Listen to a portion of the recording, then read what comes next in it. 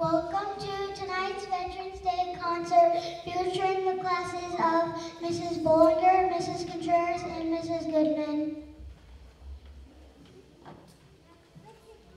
We have come together to honor all the brave men and women who have served our country or currently serving our country. Please join us as we celebrate through songs, poems, and dance.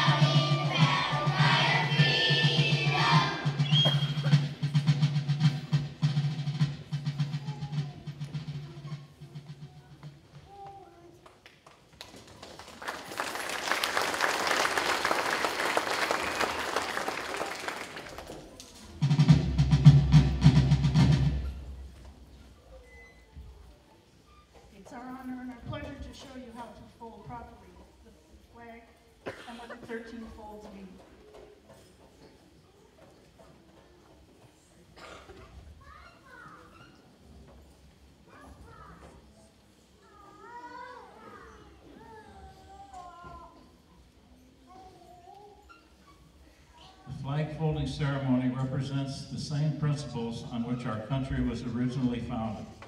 The portion of the flag denoting honor is the canton of blue containing the stars representing the states our veterans served in uniform. In the armed forces of the United States, at the ceremony of retreat, the flag is lowered, folded in a triangle, and kept washed throughout the night as a tribute to our nation's honored dead. The next morning, it is brought out and at the ceremony of reveille, run aloft as a symbol of our belief in the resurrection of the body. The first fold is a symbol of life. The second fold is a symbol of our belief in the eternal life. The third fold is made in honor and remembrance of the veteran departing our ranks who gave a portion of life for the defense of our country and to attain peace throughout the world. The fourth fold represents our weaker nature. As American citizens trusting in God, it is to Him we turn in times of war for His divine guidance. The fifth fold is a tribute to our country. For in the words of Stephen Decatur, our country in dealing with other countries, may she be right, but she is still our country, right or wrong. The sixth fold is for where our hearts lie. It is with our heart that we pledge allegiance to the flag of the United States of America and to the republic for which it stands, one nation, under God, indivisible, with liberty and justice for all. The seventh fold is a tribute to our armed forces, for it is through the armed forces that we protect our country and the flag against all her enemies, whether they be found within or without the boundaries of our republic.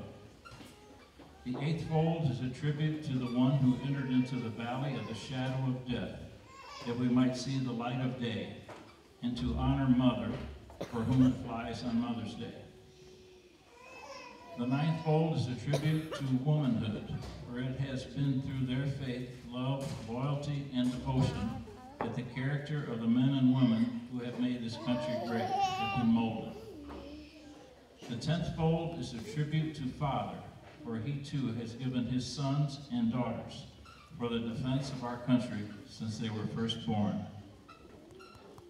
The eleventh fold is the eye of a Hebrew citizen, represents the lower portion of the seal of King David and King Solomon, and glorifies in their eyes the God of Abraham, Isaac, and Jacob. The twelfth fold, in the eyes of a Christian citizen, represents an emblem of eternity and glorifies in their eyes God the Father, the Son, and the Holy Ghost. When the flag is completely folded, the stars are uppermost, reminding us of our motto, In God we trust. After the flag is completely folded and tucked in, it takes on the appearance of a cocked hat, ever reminding us of the soldiers who served under General George Washington and the sailors and Marines who served under Captain John Paul Jones, who were followed by their comrades and shipmates in the armed forces of the United States, preserving for us the rights, privileges, and freedoms we enjoy today.